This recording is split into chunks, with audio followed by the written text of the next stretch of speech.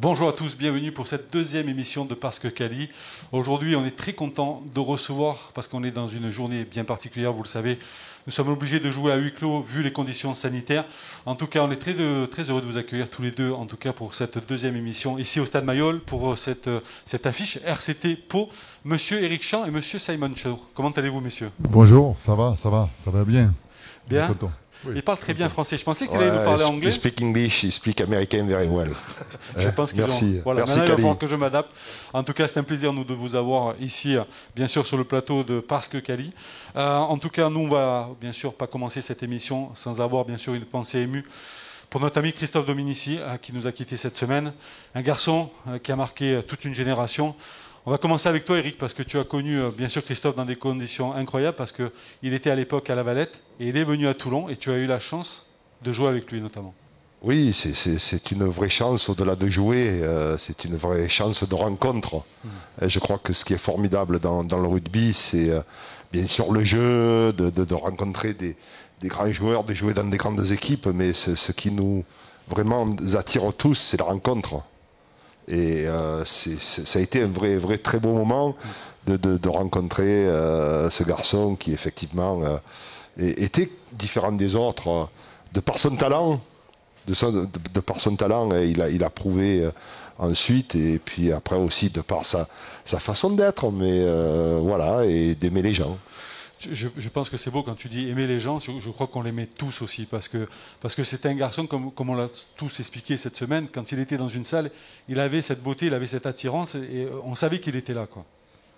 Oui, oui, oui, c'est euh, voilà, c'était quelqu'un de différent. Tu l'as dit. Quand moi je me souviens la première fois où il nous a rejoints. Alors tu, connais bien l'histoire, Cali, puisqu'il y avait euh, la, la, nationale B qu'on appelait à l'époque, enfin qui était au rez-de-chaussée les chanceux de l'équipe première étaient à l'étage et, euh, Domi qui arrive de la Valette avec la, clope sur le côté, euh, euh, un mauvais sac là, dans lequel il y avait quatre affaires. Il vient, il pousse la porte de la première et, ben voilà, mais c'est pas, c'était pas réservé qu'à la première, mais on était surpris. Ça voulait déjà dire oui, je viens et je vais vous rejoindre. C'est bien parce qu'il pousse bien la porte de la première parce qu'il rentre dans, ce, cette équipe première où il y avait quand même déjà des clients et il fait son trou rapidement aussi. Oui, il fait son, trou rapidement. il joue des matchs euh, formidables euh, avec Toulon, avec un état d'esprit euh, qu'on connaît. comme souvent, comme toi, comme, comme moi, pour ceux qui viennent de la Valette, la turbulence était au rendez-vous. La turbulence quelquefois un peu excessive. Et, tout le monde lui disait, ben voilà, le jour où tu mettras la turbulence au service du jeu, ça va encore être formidable. C'est ce qu'il est devenu. Moi, je voudrais dire que par rapport à, à Domi, c'est que, enfin, plein de gens ont retracé comme s'il y avait besoin sa carrière, les matchs immenses qu'il a fait, les, équipes. Euh, euh, tu y as participé, toi tu as joué euh, Simon Contre, dans lequel il a joué. Moi, je veux attirer l'attention de, chacune et de chacun d'entre nous, que de dire on a beau être les plus grands champions qui existent, on a beau faire un sport de combat collectif, renverser des montagnes, on reste quand même des hommes. Et quand les hommes sont en difficulté, malheureusement, on, voit que ça peut aller vers le dramatique. Et voilà, on est des gens comme les autres et il ne faut pas qu'on l'oublie. effectivement, tu as bien raison, mon cher Eric. Simon, toi aussi, tu as eu la chance de rencontrer Christophe dans des conditions là aussi particulières. Tu ne l'as pas eu en club, mais tu l'as eu aussi euh, avec l'équipe d'Angleterre. Justement, quelle image tu as gardée, toi, de Christophe? Est-ce que c'était un peu, quand tu jouais l'équipe de France à l'époque, tu vois, est-ce que c'était vraiment le joueur à surveiller? En fait, euh, je n'ai pas rencontré avec lui. Euh, finalement, euh, dans une tournoi des. Destination Six stations. Euh, six stations. Six stations. qui n'est pas la même chose, hein, pour rappeler. Pas la même chose, les, non, non. Les six stations, c'est un.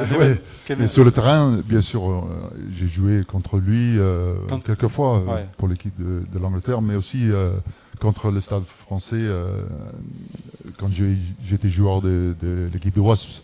Et en fait, je, trouvais que, que c'est un mec avec euh, beaucoup, beaucoup de skills, mais un mec euh, sur le terrain, tu sais, comme, comme les avant, tu détestes les, mecs comme ça sur le terrain, parce qu'il moque de toi tout le temps, avec son, euh, son, vitesse et tout ça. Et, mais quand j'ai rencontré lui sur les six, stations, je, je, trouvais que c'était un mec, mec super sympa, drôle, super drôle. On a, discuté des choses. il m'a fait rigoler, pleurer j'ai pas compris tout ce qu'il a dit, mais c'est ce mec, comme, comme, vous avez dit, sur le terrain, il s'allume le terrain et quand, quand il rentre une, une chambre, un, espace, tu sais, parce qu'il allume l'espace. Ouais, ça c'est vrai. Je crois que chacun pourrait raconter une très belle anecdote sur Christophe. Tu sais, moi je l'ai raconté il n'y a pas si longtemps que ça en disant que euh, une fois, je vais jouer avec Agen au Stade français et j'avais ma seule appréhension, c'était pas jouer, tu vois, les joueurs du Stade français, c'était de croiser le regard de Christophe Dominici. Et c'était à l'époque où on avait des maillots, vous savez, très moulants. Et euh, bon, j'étais en surpoids. Et euh, quand on se rencontre dans le ça couloir. Ça a changé maintenant. Ça a changé, ça a changé heureusement. maintenant, tu es au top. tu vois, tu as arrêté le Figatelli. Voilà, ben justement, c'est à cause de ça. Et Christophe me croise, et il me voit avec ce maillot moulant, il explose de rire. Et je crois que ça fait rire toutes les deux équipes. Et il me dit qu'allez, arrête le Figadel ou c'est bon, allez, passe à autre chose. bon, en tout cas, on le rappelle, il va y avoir une vidéo match qui sera diffusée avant le coup d'envoi sur tous les matchs de top 14 et de Pro D2. En tout cas, encore une fois, on a une grosse pensée pour lui, toute sa famille et ses proches et la grande famille du Stade français. Messieurs, on va parler aussi euh, rugby parce que vous êtes là pour ça. On va commencer avec cette, euh, belle équipe de Toulon. Euh, Eric, je vais commencer avec toi parce que tu sais, moi aussi, je viens un peu espionner cette équipe. Toi, tu viens plus souvent que moi. Justement, quel est ton avis sur cette belle équipe du RCT mon avis, il n'a pas changé depuis toujours, mais je ne suis pas sûr d'être euh, un, bon critique pour euh, donner un sentiment sur les équipes de Toulon. Euh, quelles que soient les générations, c'est la meilleure, et Simon l'a prouvé. Donc moi, je pense que c'est formidable. J'espère que le, Patrice Colazo et le président Bernard Lemaître sont en train de, oui, de gagner leur pari, parce qu'il fallait le faire on, a connu, euh, il n'y a pas si longtemps que ça, une époque euh, incroyable. Moi, je, me plaisais à dire souvent que l'équipe de, Simon, de Bakis, de, Johnny, enfin les, noms immenses, ils pouvaient rencontrer n'importe qui. Simon a été champion du monde. Ils auraient pu rencontrer l'équipe de Simon. Je pense qu'ils pouvaient les battre.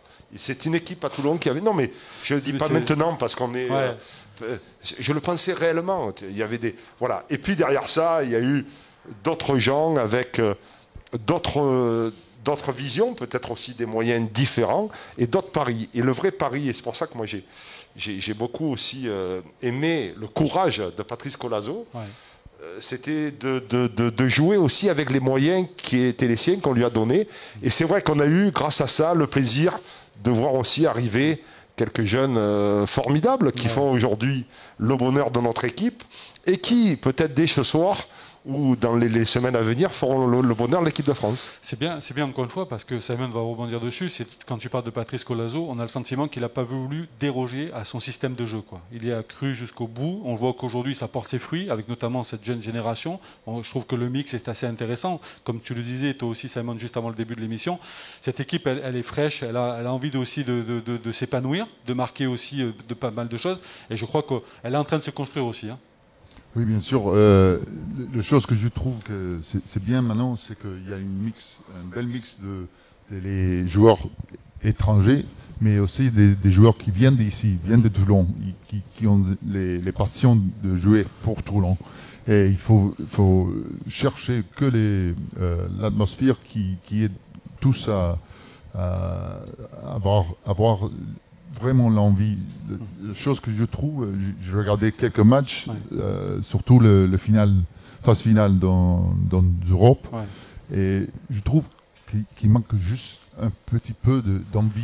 De, si tu regardes quand il, commence de, perdre un match, pour moi, mm. c'était facile à, l'époque. Tu, tu t'énervais et tu peux faire ça, quelque chose un peu différent. Quand tu voyais les mains de Simon, il faut éviter de l'énerver. Hein. Mais, il faut que tu sens que, ça commence d'énerver euh, l'équipe. Et pour l'instant, il manque que ça. Alors c'est vrai, comme, on le disait, c'était notamment ce, début de saison a été un peu particulier pour l'équipe du RCT. Des blessés, beaucoup de joueurs qui ont été pris, euh, des internationaux, on en parlera aussi tout à l'heure. Mais cette équipe qui a besoin aussi d'expérience euh, par rapport à ça. Eric, moi j'aimerais que tu me parles parce que c'est un poste que tu, que tu affectionnes. Hein. tu as poussé derrière les, tu as poussé euh, derrière les plus grands. Hein. Manu Diaz qu'on a reçu notamment euh, la, semaine dernière avec Thierry Louvet. Euh, en tout cas, moi je voudrais que Ça va, ils ont réussi à parler? Écoute, il a fallu un quart d'heure pour les faire. Attention, parce que Manu, Manu peut venir à tout moment. Parce que toi, tu fais partie de leur tribu, quoi. C'est la tribu des petits cochons. Merci de le rappeler. Eric, pour revenir notamment sur cette troisième ligne, on en parlait, c'est une troisième ligne très, assez complète avec la CAFIA, avec Paris avec Charles Olivon. Aujourd'hui, il y a des jeunes aussi qui pointent leur bout de leur nez. On pense bien sûr à Swan Rebadge, on pense aussi pardon, à Julien Horry. Qu'est-ce que tu en penses je, pense que, si tu veux, euh, euh, beaucoup de bien, euh, beaucoup de bien, parce que moi je crois à l'équilibre. Hmm. Et, toutes les, grandes équipes, celles de Toulon, celles des, nations pour lesquelles nous avons joué, effectivement, il y, a, des joueurs dits divas. Je reviens à Domi. Qui, faisait la différence, mais il y avait aussi, il fallait qu'il y ait dans l'équipe un, réel équilibre. et j'ai trouvé ces dernières années que quelquefois les, entraîneurs, les sélectionneurs, ils étaient excessifs sur euh, les troisièmes lignes, prendre le ballon, euh, euh avancer 5 mètres. C'était la, seule référence. Moi, je trouve que euh, la troisième ligne, dans sa globalité, parce qu'il y a effectivement plusieurs joueurs qui sont capables d'y jouer, et c'est bien, chaque fois, il y a une construction qui est équilibrée. C'est-à-dire qu'il y a un joueur qui est capable d'avancer le ballon, il y en a un qui est capable de gratter. Il y a, à mon sens, il a été il, est, même s'il euh, il a beaucoup derrière lui, mais il est encore l'un des meilleurs numéro 8 du monde, qui, a ce talent immense d'être l'interface du jeu entre les avant et les trois quarts. Je parle de Sergio. Donc, je, pense je parle de Paris, ouais. ouais, Et, je crois un coup de pied croisé, tu aurais fait ça à la même époque ou pas? Euh, euh, Non, parce que je me serais cassé la jambe. Disons que les coups de pied, c'était pas dans le ballon. Non, nous, c'était interdit. Non, il ne faut pas le dire, ça, parce que on va être suspendu après. On va être suspendu, exactement. Pareil pour toi, Simon. On parlait bien sûr des troisième on va parler des deuxième lignes avec une association qui est aussi euh, pèse. Hein. on parle bien sûr d'Eben Sebet et puis de Romain Taoufefinois. C'est costaud là aussi. Hein. Oui, ils sont costauds, mais euh, comme j'avais dit euh, juste avant, pour moi, toujours il, manque un peu de,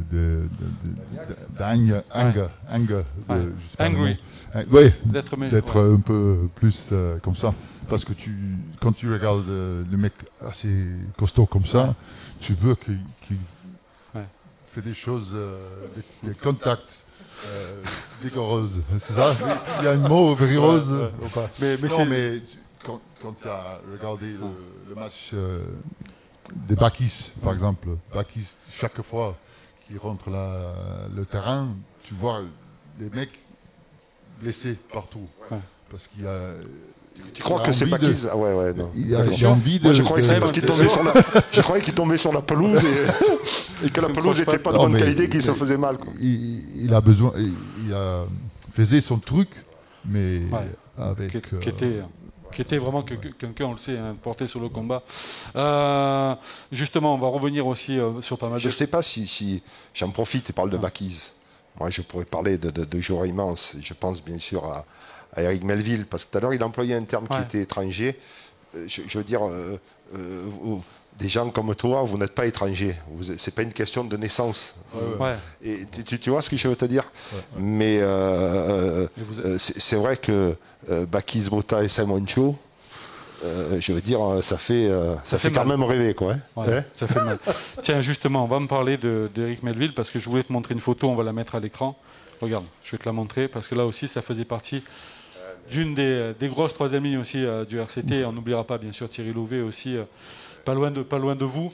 Euh, c'était, c'était le aussi, hein, quand tu disais juste avant l'émission, c'était un garçon qui est... Mais ouais, bon, moi je, dis souvent, au rugby, je dis souvent que c'est difficile de dessoucier des, joueurs les uns des autres on est tellement un collectif, si, si, on n'a pas de, de, 5 de devant, les troisièmes lignes, ils n'existent pas. Si on ne sort pas les ballons, euh, les trois quarts ne pas, marquent pas les plus beaux essais du monde. Mais, mais incontestablement, euh, c'est pour ça que le, terme, je veux dire, on va dire non sélectionnable, mais Eric, Melville, c'est le plus grand Toulonnais, euh, franchement, qu'on n'ait jamais eu. Il y a le terrain, bien sûr, mais il y avait tout ce qu'il y avait au, au dehors du terrain. Son rayonnement, lui, il n'était pas que sur le charisme, il était aussi sur l'humanité, la façon d'être, la relation avec les joueurs. Tu as décidé de nous faire du mal, Kali, aujourd'hui. Non, non, non. Tu as décidé que tu veux nous faire pleurer, quoi. comme si on allait rentrer sur le terrain. Franchement, Eric, Parce que tu sais que nous, on n'avait pas besoin qu'on nous parle beaucoup pour être hungry. pas, hungry. Moi, je dirais très con, quoi. tu sais, une petite anecdote par rapport à ça, si on peut, on prend vite le temps parce qu'on est précis aussi. Quand on parlait d'il y a hungry et angry, c'est deux choses différentes. Tu peux être méchant, mais aussi t'as faim. Et Rouge disait à chaque fois, là, il va me tuer, Kali, je suis angry, angry, angry. J'ai dit, mais t'as faim ou tu es énervé? Donc, on n'a jamais su. Toi aussi, pareil, regarde, mon cher Simon, une petite photo qui te rappellera aussi les belles années avec le rugby club toulonnais. On le ah, voit, bien sûr. C'est moi Ouais, c'est toi, c'est toi qui portes le ballon. Tu vois, comme quoi tu portes pas la tête des adversaires, tu as aussi l'opportunité. J'ai tombé sans, sans, être euh, plaqué. magnifique. Mais il se dit, écoute-moi, si je dis pas de bêtises, on m'a dit aussi que dans les travées, tu étais aussi peut-être le préparateur euh, de Johnny Wilkinson. C'est vrai ou pas? Ouais, Parce que j'ai une autre photo, je voudrais que tu m'en parles. Regardez, je vais la mettre à l'écran. c'est celle-ci, le jeu au pied. Pourquoi, Simon? Parce qu'en en fait, euh, non, c'était pas dans cette période-là, mais euh, à la fin, le dernier mois de mon carrière ici, j'étais blessé. J'étais blessé, j'ai cassé euh, mon pied. Et en fait, je, je faisais rien. Je disais à Bernard, est-ce que je peux t'aider avec quelque chose? Et, je disais, bon, est-ce que je peux aider, aider, Johnny? Euh, parce qu'il prend le temps, il, reste sur le temps d'entraînement pendant 4 heures. Si j'apporte les, les, ballons, il va tarder que 2 heures. Donc pour les, pour les week-ends, il va, être plus euh, fraîche. mais c'est bien parce qu'il a, tu sais il a choisi Johnny, il s'est pas trompé. Il a pas pris les gros, il a pas dit. Mais, tu, mais tu, sais pourquoi on l'a arrêté après? Parce que quand il renvoyait les, les ballons à Johnny, quand il, tapait dedans, il est crevé. Il partait directement. Il partait directement avec, les, avec les, jambes qu'il a, il crevait les ballons. Messieurs, juste pour finir, on va parler bien sûr euh, du match, aussi euh, non pas de, de, celui qui nous attend bien sûr contre Pau. On va parler aussi de France-Italie. Ce soir, il y a pas mal de petits Toulonnais hein, qui, qui, font, qui pointent leur bout de leur nez dans cette belle équipe de France. Il faut le rappeler, hein. Baptiste Serin qui sera capitaine, Louis Carbonel, Swan Ribach et Gabin Vidière ça fait plaisir hein, de voir du Toulon dans l'équipe de France. Oui, ça rejoint, ça rejoint ce qu'on a dit. Hein. c'est que si tu veux, c'est comme ça. Moi, je crois aux générations. il y a une génération formidable. Il y a eu une période un peu intermédiaire où, à un moment donné, il faut que chacun retrouve un peu ses, ses, bases. Et là, incontestablement, à, incontestablement à Toulon, on est sur une génération, euh, on est sur une région avec, du talent. Et, moi, j'adore d'avoir une vision non pas extérieure, mais plus contemporaine que la mienne d'un grand avant euh, du, rugby mondial, euh, c'est bien. Moi, je, cherchais aussi un peu quelle était l'étincelle qui pouvait manquer à cette, à cette équipe, à cette bonne équipe de Toulon pour devenir une grande équipe. En plus, si tu me dis que c'est la, la, violence, euh, la, vaillance, c'est interdit la violence, la, vaillance et, un peu de conneries, ça, me fait plaisir. Messieurs, en tout cas, voilà, c'est déjà la fin de cette première partie avec vous. C'était un grand moment de plaisir. Merci en tout cas Merci, d'avoir rendu hommage à Christophe. On vous souhaite que, de, belles choses et puis un bon match aussi. Puis nous, on va en profiter euh, tiens, de lancer une petite interview qu'on a pu faire cette semaine grâce à Thomas, de notre ami. Euh, Jean-Baptiste Gros, qui va nous parler un peu de ses sensations, de ses appréhensions. Non, comment il a vécu un peu sa première sélection, titularisation face à l'Écosse. Chaussette en bas. Chaussette en bas. Et dans le pic à fond.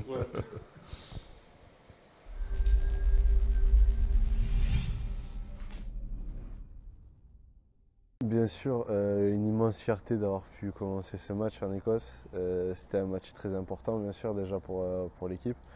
Et puis ben, une immense fierté d'avoir pu commencer ce match, c'était top, même si le stade était vide et tout, ça reste quand même un super souvenir. Et la victoire en plus c'est un régal. Bah ouais, le stade il était vide, après bon, euh, c'était quand même mieux euh, pendant le tournoi, euh, lorsque le stade était plein, on fait avec, on peut pas, on décide pas de ça. Et en espérant que les stades soient remplis le plus rapidement possible. Bah, bien sûr, je suis très content pour lui, je le félicite énormément. Euh, euh, il travaille énormément pour, euh, pour le groupe, donc je pense que c'est, ça doit être une fierté pour lui et, je lui souhaite bonne chance. Ben, on a vu la compo tout à l'heure, donc bien sûr très content pour ceux qui jouent, un peu déçu pour ceux qui rentrent. Voilà. J'espère qu'ils auront leur chance plus tard.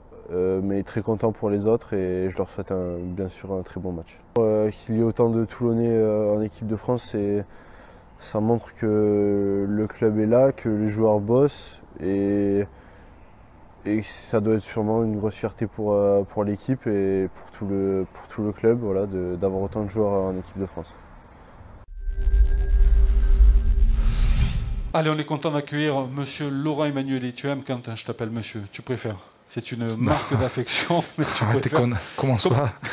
commence, pas à je viens de passer, mon cher Laurent, je viens de passer un quart d'heure avec les deux monstres, avec Eric Champ et Simon Cho. Ils m'ont mis à mal. J'espère que tu seras un peu plus souple, un peu plus gentil avec moi. En tout cas, je suis très content que tu prennes le temps voilà, de discuter avec nous, de venir nous expliquer pas mal de choses parce que on l'explique depuis le début euh, de ces émissions parce que Kali, on parle beaucoup des jeunes et justement, euh, j'aimerais que tu nous expliques un peu, un peu ton rôle, notamment du, euh, de ce de ce que tu fais aujourd'hui par rapport à cette formation. Alors c'est une question un peu vaste, mais prendre le temps voilà, de découvrir un peu ton univers, comment vous, vous travaillez, comment ça se passe, euh, avoir à peu près tous les, tenants et les aboutissants de comment ça se passe au niveau du centre de formation. Mais en fait, euh, voilà, maintenant, au départ, quand je suis arrivé à Toulon, j'ai fini ma carrière, je me suis occupé exclusivement du centre de formation. Maintenant, j'ai un rôle beaucoup plus euh, transversal, c'est-à-dire que je suis le directeur sportif, et avec l'avantage, c'est qu'avec un manager comme Patrice, et, bien sûr la direction du club, le président, euh, on est en phase là-dessus et on essaie, euh, bien, entendu, de, mettre au centre du dispositif la formation, d'essayer de faire monter en, qualité nos jeunes. Et, c'est quelque chose qui est, très prégnant dans le management de Patrice. Patrice a besoin, dans son management, d'intégrer à chaque fois pas mal de jeunes parce que ça amène de l'enthousiasme, une certaine insouciance aussi. Et c'est comme ça souvent que les clubs euh, arrivent à traverser les générations et les, cycles, et puis arrive à se régénérer plus facilement. comme tu le disais, la relation avec Patrice est, assez, assez forte, euh, notamment cette, cette, passerelle, parce qu'il faut en parler, hein, bien sûr, entre l'équipe 1 et l'équipe première, parce qu'aujourd'hui, vous travaillez ensemble, notamment sur ce très beau campus. Euh, c'est aussi plus facile pour vous hein, en termes d'échange, en termes de, travail. Il est clair qu'avec une telle infrastructure, c'est beaucoup plus simple de, de pouvoir euh, se réunir, travailler plus qualitativement. les, les, groupes se côtoient. Alors on a la disposition du bâtiment fait que chacun a, son carré, a son espace. Par contre, il y, a, quelques endroits qui demeurent communs où les joueurs peuvent se côtoyer, c'est échanger. Donc ça, c'est pas mal. Euh, on a remis aussi euh, dans, notre, dans notre politique le côté identitaire du club qui a toujours été là, mais qu'on continue et qu'on veut exacerber avec Patrice, euh, étant issu de Toulon, comme toi, bien entendu, il faut il faut le dire aussi. Comme ça, je t'envoie une petite salade en passant. Et, euh, donc, et donc voilà, c'est merveilleux. C'est vrai que c'était véritablement un, outil qui nous, qui, nous, qui nous faisait cruellement défaut. Quand on voit aussi hein, les points forts de cette formation, euh, Laurent, quand on voit aussi des garçons comme Louis Carbonel, comme Swan Rebach, comme Dridi, comme, comme euh, Jean Bagro, Jean Bagro, Jean Bagro qui, est en train de, de performer, notamment avec l'équipe de France, qui fait des belles choses. On se dit quand même c'est une belle réussite. Mais est-ce qu'il y a encore d'autres talents qu'on ne connaît pas qui risquent un peu de pointer leur bout de leur nez? Bah oui, il y a encore, euh, il y a encore quelques talents. Il y a euh, Matteo Le Corvec, il y a le jeune Calani Robert qui a fait une apparition à Toulouse cette année juste avant de se, de se, de se blesser. On en a quand même, euh, on a quand même encore pas mal en réserve. J'en oublie et je m'excuse si j'en oublie certains, mais voilà, on a, on a, on a la chance d'avoir un réservoir fort intéressant sur lequel il faut euh, encore euh, construire davantage. On va, parler aussi euh, d'un truc important, mon cher Laurent, c'est aussi la construction d'une politique avec les clubs partenaires. On le voit, aujourd'hui, vous avez tissé des liens avec la Seine, avec d'autres clubs. Justement, comment ça se passe? Mais On essaye voilà, que ce ne soit pas un partenariat à sens unique et qu'on ait un peu l'impression que le RCT entre guillemets, pille les, clubs environnants et ne, renvoie pas l'ascenseur. Il faut que cette entente, ce partenariat soit gagnant-gagnant et qu'on soit, et qu'on soit dans l'échange en permanence et que lorsqu'un jeune d'un club partenaire, d'un club satellite, si on peut appeler ça comme ça, vient au RCT, c'est qu'on en a véritablement besoin et que ce jour-là, nous ne l'avons pas. Et après, à un moment donné, si dans le process de formation, ben, on se rend compte que le joueur passe pas le gap quand on va le chercher assez jeune, il faut qu'on soit aussi capable de le renvoyer vers son club satellite, ça c'est important, et aussi échanger au niveau de tout ce qui est contenu d'entraînement, donc euh, que, leurs éducateurs viennent chez nous et que nous on se déplace aussi chez, chez, nos clubs partenaires. Mon cher Laurent, en tout cas merci. Est-ce qu'il y aura peut-être d'autres évolutions par rapport à la formation? Est-ce que vous avez d'autres projets?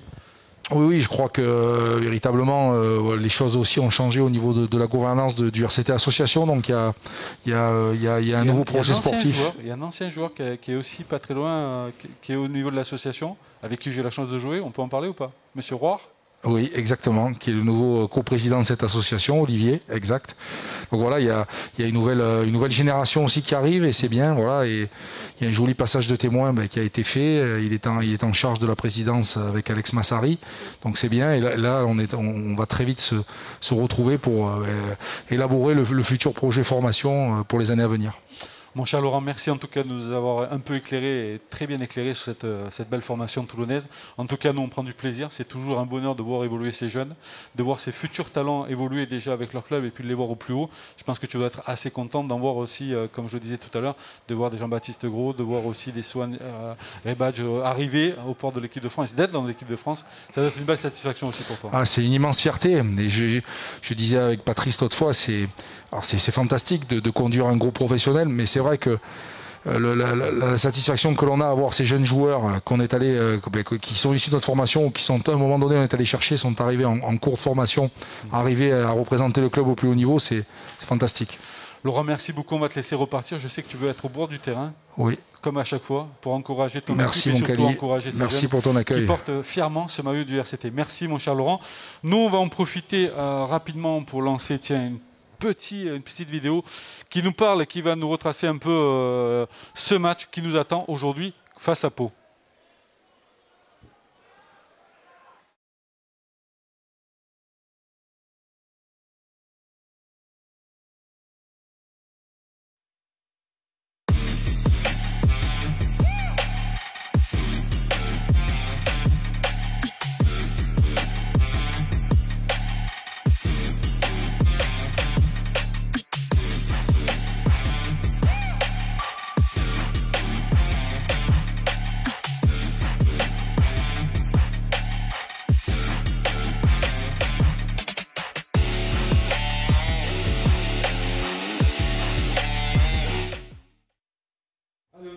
Recevoir notre ami Bruce et Monsieur Kalani. Comment ça va, messieurs Désolé, on vous a fait un peu attendre, on a été un peu long, c'est Bruce, tu sais, quand les anciens commencent à prendre la parole, il faut du temps, il faut les laisser parler, il faut les laisser s'exprimer. En tout cas, on a passé aussi un joli moment avec euh, Laura Emmanueli, hein, que vous connaissez très bien, qui s'occupe euh, parfaitement bien de la formation.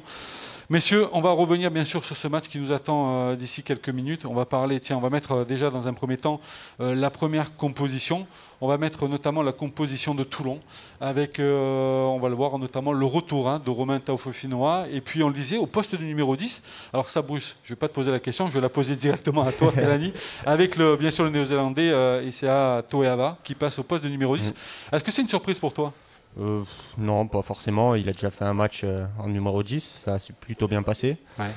Donc euh, je pense qu'il lui fait confiance et s'il a remis, c'est pas pour rien. Donc je pense qu'il va faire un beau match contre Pau. on pas une seule seconde, surtout que quand on connaît les qualités et on sait, hein, c'est des joueurs d'expérience ah qu'on peut mettre autant du poste numéro 9 que numéro 15. Mais bon, ce n'est que mon avis, hein, Bruce, ne rigole pas. on peut parler aussi du retour de Romain, avec qui, bien sûr, toi tu travailles. C'est aussi, euh, on en parlait tout à l'heure avec euh, Simon Shaw, euh, le fait d'avoir une deuxième ligne assez compacte, assez, assez dense. Hein.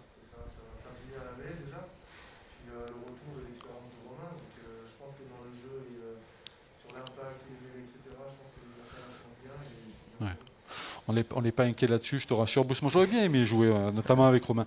Tiens, on va en profiter pour mettre à, l'écran la composition euh, de Pau. Regardez, une équipe aussi euh, assez, costaud, hein, avec notamment un demi d'ouverture. Anthony, Antoine pardon, Astoy, meilleur réalisateur du top 14. C'est un garçon, je pense qu'il va falloir surveiller aussi. Hein. Oui, oui. on va le surveiller de près. Après, on a regardé leur on a un peu regardé leur match toute la semaine, on a travaillé dessus et on sait qu'ils ont certains points forts dans leur équipe et on va réussir à les contre-attaquer. Ouais, les points forts, hein, on le sait, c'est, il faut se rappeler ces premiers matchs qu'ils avaient réussi, notamment à Montpellier, avec une très forte mêlée. Une belle défense aussi, c'est une, défense assez compacte. Euh, ben justement, on va revenir. Comment vous avez travaillé, vous, cette semaine par rapport à ça Bruce? Ben, euh, Déjà, on a analysé euh, les retours vidéo, déjà, ce qui est très important pour rencontrer une équipe le week-end. Ah, pardon. Non, mais c'est rien, désolé. pour contrer une équipe le week-end. Et euh, on a analysé les points faibles et les points forts, etc. Puis on va essayer de, partir sur une bonne dynamique déjà par rapport au match dernier. Et puis euh, on, va faire, on va tout donner pour gagner. on le sait. Hein, Il le, faut. Hein. Ouais, justement, je ne voulais pas revenir dessus. La semaine dernière, c'était un, on va dire un match un peu, un peu difficile à accepter. On l'a vu, hein, notamment la seconde période est intéressante. Je pense que c'est aussi euh, à travers ces, genres de matchs aussi qu'on arrive à, grandir et à se construire. Euh, Kalani, toi, pour, pareil, à quel type de match faut-il s'attendre ce soir? Bah, je pense, euh, enfin, les qualités météo sont pas trop à notre, euh, pour nous, mais bon. Euh, ça c'est plus pour les gros. Ouais, ça va être un peu un match de vent. Il y a du vent, il a plu. ça va être un peu compliqué. On verra. Tu penses qu'il faut plutôt garder euh, le ballon ou jouer comme vous le faites parfaitement si bien depuis le début de On va essayer de jouer dans leur camp et après mettre du rythme. Sinon, euh, si on a le vent de face, on va garder le ballon et essayer d'impacter, essayer d'avancer petit à petit. C'est bien parce que Kalani a presque un discours, tu vois, de gros, ça fait plaisir. On va, te prendre, on va te mettre dans la cage. Euh, pour revenir avec toi, Bruce aussi, on parlait donc de Pau qui a fait un bon début de saison. mais ce qui est intéressant, c'est qu'aujourd'hui, tu vois, Toulon doit aussi, pareil, très rapidement prendre l'empreinte, l'empreinte de prendre l'avantage sur ce match-là, parce qu'il y a quand même deux matchs à préparer. Euh, le, week-end prochain contre, contre le Stade français, qui sont quand même assez solides chez eux, et puis euh, aussi une très belle affiche contre Clermont. Oui, euh, déjà ben, être fort sur les fondamentaux, déjà mêler touche, ce qui est très important contre Pau parce qu'ils sont quand même épais. c'est une équipe, comme tu l'as dit, très bonne mêlée déjà. Ils sont, je ne sais pas combien ils sont classés dans le top 14, ils sont troisième, un truc du genre. Donc il va falloir être, euh, être très fort sur, sur ses fondamentaux et, euh, et avoir une bonne dynamique. Kalani pour toi Notamment derrière vous bah, Derrière, on a vu que ça jouait beaucoup. Ça n'avait pas peur de faire des passes après contact. Ça attaquait les intervalles. Ça allait vite. Donc, euh, on va essayer de faire euh, vite les faire tomber et euh, vite prendre la ligne pour essayer qu'ils gagnent un minimum de terrain. en, bien. Ouais, en gros, c'est comme tu disais, peut-être de prendre très rapidement. Alors, c'est pas faire un jour à cette très belle équipe de Pau, de de suite les, les prendre à la gorge, de ne pas les laisser mmh. jouer parce qu'ils peuvent être déstabilisants. Et on le sait, hein, ils ont eu des très très bons résultats. Ils ont bah, perdu. C'est une équipe surtout si on les laisse jouer, ils prennent. Euh, confiance. vite confiance en eux et, après ils lâchent plus le ballon et ils continuent, ils continuent. Donc mmh si on impose notre rythme, nous, de notre côté, très rapidement, je pense qu'on peut faire un beau match aujourd'hui. En tout cas, là aussi, ça va être intéressant, notamment sur les premières secondes. Mais si on va vous laisser repartir, en tout cas, encore une fois, merci à vous deux d'être venus dans l'émission Parce que Cali, ça nous fait très plaisir. Un petit mot euh, avant de partir pour euh, tous nos amis supporters et partenaires qui nous regardent bah, ils peuvent avoir confiance en nous, ils savent qu'on va se donner ce match à fond, même si on a perdu à Bayonne, ici on est chez nous et on va donner un maximum pour gagner.